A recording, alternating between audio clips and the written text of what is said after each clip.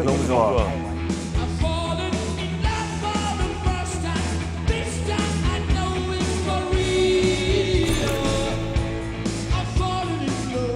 연애할 때 불러주면 좋아하죠.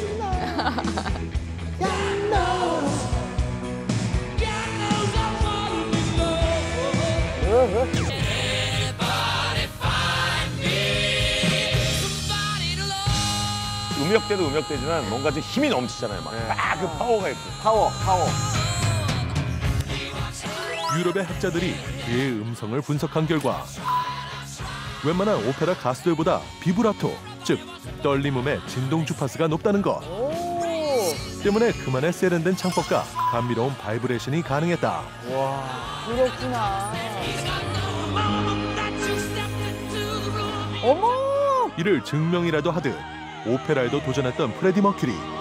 glamorous and everything. I mean, this is something that it's, it's, it's a good challenge at this time in life. 끝없는 그의 도전은 대중에게 또 다른 즐거움까지 선사했는데 자, 여러 장르에 도전을 많이 했던 분이야. 안 되는 게 없는 최고의 보컬리스트였구나.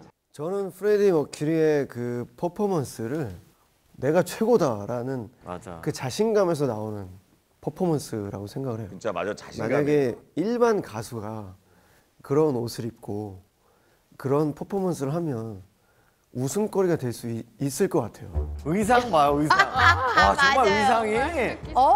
타의 추종을 불러 일으키는 저 당시에는 정말 센세이션 했던 의상들이에요. 이 말이 됩니까 그게 그 마이크 스탠드를 들으면서 아, 사람들한테도 너무 멋있네. 막 맞아, 이렇게 들어주고 막 소리 질러보라고 하면서 그리고 또 되게 충격이었고요 걸어가는 포즈 어. 이게 어깨를 90도로 해가지고 잡아 이렇게 그래 그래 그래, 돌리는데. 묘졌듯이. 왜 이렇게 멋있을까요? 어. 자기 자신을 뮤지션이 아닌 퍼포머로 규정했던 프레디 머큐리. 그러니까 하나하나가 전부 다 다 유행이 됐던 거죠.